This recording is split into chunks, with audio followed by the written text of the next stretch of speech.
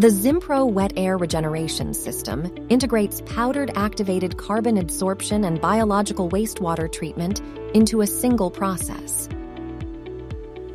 It is used around the world to produce high quality effluent that, in many cases, allows for beneficial reuse of these difficult to treat wastewater streams. The Zimpro Wet Air Regeneration System is based on the world leading Zimpro Wet Air Oxidation process used in over 200 applications worldwide.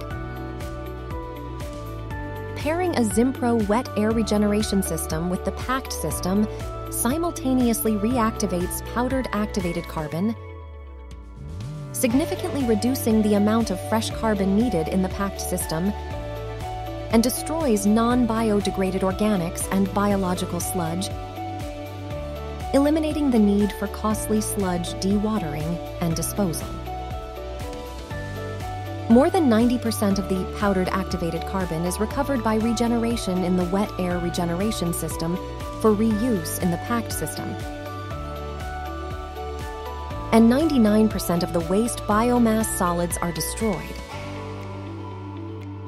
Only 1% of the total waste biomass volume remains as an inert ash, which is managed by conventional solid waste disposal. The wet air regeneration system operates at low temperature and pressure, allowing the surface of the spent carbon to be regenerated but not damaged.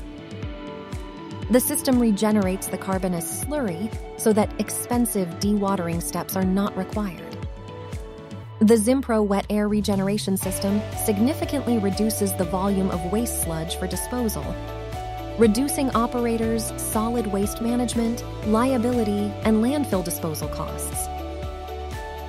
The Zimpro wet air regeneration system significantly reduces activated carbon consumption and sludge disposal costs and can be self sustaining, requiring no auxiliary fuel.